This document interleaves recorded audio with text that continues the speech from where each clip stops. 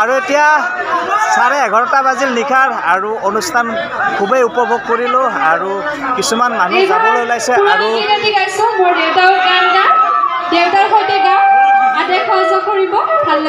আৰু ল'ৰাবোৰে খুবেই ডেন্স কৰিছে।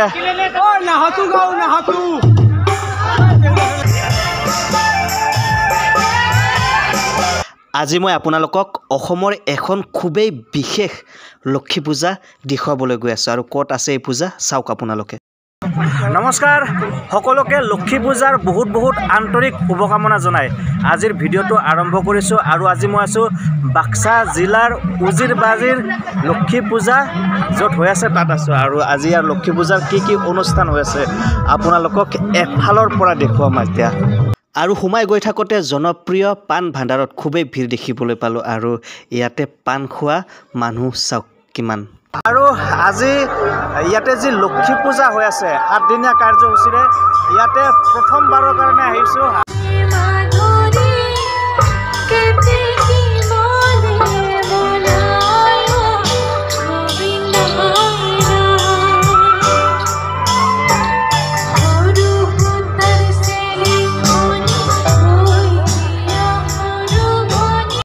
আৰু ইয়াতে হৈ আছে সম্ভৱত ৰাজ্যৰ সকলোতকৈ দীঘলীয়া লক্ষী পূজা। ইয়াতে আঠাইছ অক্টোবৰৰ পৰা তিনি নৱেম্বৰলৈ মানে সাতদিনীয়া কাৰ্যসূচীৰে লক্ষী পূজা বৃহৎ আয়োজনেৰে ইয়াত পালন কৰা হৈ আছে। আৰু ইয়াতে যদি চাই আপোনালোকে ইয়াত সাংস্কৃতিক আজি কাৰ্যসূচী আছে আৰু তাৰ লগতে ইয়াতে চাৰিওফালে চাওক কত কিমান মানুহ এই পূজা অনুষ্ঠানলৈ আৰু আপোনালোকৰ ফালে কেইদিনীয়া কাৰ্যসূচীৰে লক্ষী পূজা আয়োজন কৰা হয় নিশ্চয় কমেণ্টত জনাবলৈ নাপাহৰিব। আৰু অহা মানুহ আহি আছে যোৱা মানুহ যাই আছে পূজা চাই চাই। আৰু ইয়াতে এনেকৈয়ে ঘূৰি পাকি চাই আছোঁ পূজাৰ পৰিৱেশটো। আৰু এতিয়া বলক সাংস্কৃতিক অনুষ্ঠান উপভোগ কৰোঁ।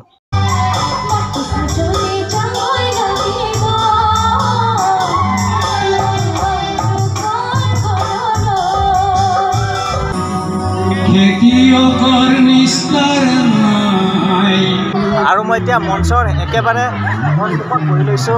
সকলোতকৈ আগত বহি আজিৰ লক্ষী পূজাৰ সাংস্কৃতিক অনুষ্ঠান উপভোগ কৰি আছোঁ আৰু মোৰ পিছফালে চাওক কিমান দৰ্শক। আৰু এতিয়া ৰাতিৰ প্ৰায় চাৰে দহমান বাজিছে আৰু এতিয়া এগৰাকী গায়িকা মঞ্চত আহিছে গীত পৰিৱেশনৰ কাৰণে। আৰু কোন আহিছে আপোনালোকে চাই থাকক চাই থাকিলে গম পাব।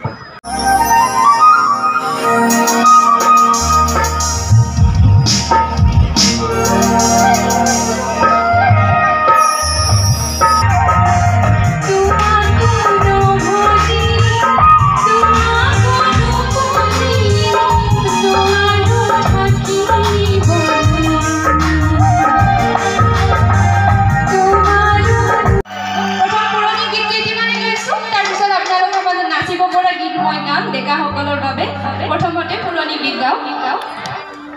হাত চাপৰি দি সহযোগ কৰিব আটাই ভাল লাগিব। গাই থাকোঁতে হাত চাপৰি দি সহযোগ কৰিব। আৰু এতিয়া গীত পৰিৱেশন কৰি থকা গায়িকাগৰাকীৰ নাম হৈছে লভিতা বড়ো আৰু তেওঁৰ আগত ইতিমধ্যে কেইগৰাকীমান গায়কে গীত পৰিৱেশন কৰি গৈছে আৰু এতিয়া এওঁৰ গীতবিলাক উপভোগ কৰোঁ আহক। আৰু ইয়াতে আছে উজিৰবাৰীৰ সাতদিনীয়া লক্ষী পূজাৰ বিশাল কাৰ্যসূচীৰ তালিকাটো।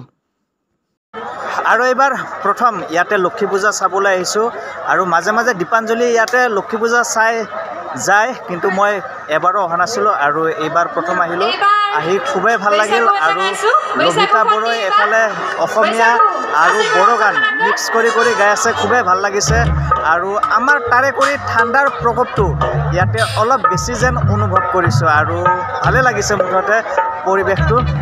আৰু মঞ্চত ইতিমধ্যে লভিতা বড়োৰ সংগীতানুষ্ঠান চলি আছে আৰু তেওঁ বড়ো অসমীয়া হিন্দী এনেকৈ মিক্স কৰি কৰি ধুনীয়াকৈ গীতবিলাক পৰিৱেশন কৰি আছে আৰু এতিয়া মই আকৌ এবাৰ এনেকৈ ঘূৰি ফুৰিবলৈ আহিছোঁ আৰু এফালে যদি চাই আপোনালোকে বিভিন্ন ধৰণৰ সুস্বাদু খাদ্য সম্ভাৰৰ পৰা বিভিন্ন ধৰণৰ আ অলংকাৰৰ পৰা মানে দৰ্শকক মানে যিসকলে ইয়াত পূজা চাবলৈ আহে আৰু এনেকৈ চাওক ইয়াতে লটাৰীৰ খেলবিলাকো মুঠতে গ্ৰাহকক আকৰ্ষিত কৰা বিভিন্ন ধৰণৰ বস্তু ইয়াতে দেখিবলৈ পাইছোঁ আৰু তাতোকৈ ডাঙৰ কথাটো হ'ল আমাৰ তাৰে তুলনাত ইয়াত ঠাণ্ডাৰ প্ৰকোপটো অলপ বেছি মানে ঠাণ্ডা ইয়াতে আগতীয়াকৈ নামি মোৰ এইফালে যিটো আপোনালোকে মঞ্চ দেখিবলৈ পাইছে এইটো হৈছে অসমৰ ভ্ৰাম্যমান জগতৰ নাট্যগোষ্ঠী। যাৰ নাম হৈছে লুট লুইতপৰীয়া থিয়েটাৰ। আৰু তেখেতসকলে ইয়াতে নাট। পৰিৱেশন কৰিব আৰু অহাকালিৰ পৰা ইয়াত নাট মঞ্চস্থ হ'ব আৰু ইয়াতে। যি থিয়েটাৰ আছে তেওঁলোকে ইয়াতে যি তেওঁলোকৰ নাট দেৱকন্যা ইয়াতে মঞ্চস্থ কৰিব। আৰু সন্মুখৰ সেই দোকানখনৰ টিঙৰ ওপৰত থকা এইটোৱে হৈছে লুইতপৰীয়া থিয়েটাৰৰ বেনাৰটো।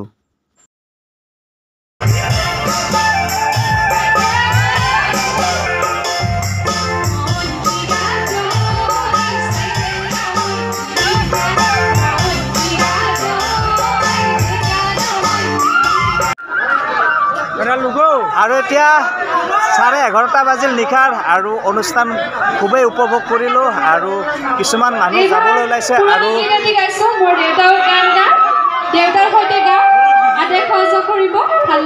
আৰু ল'ৰাবোৰে খুবেই ডেন্স কৰিছে।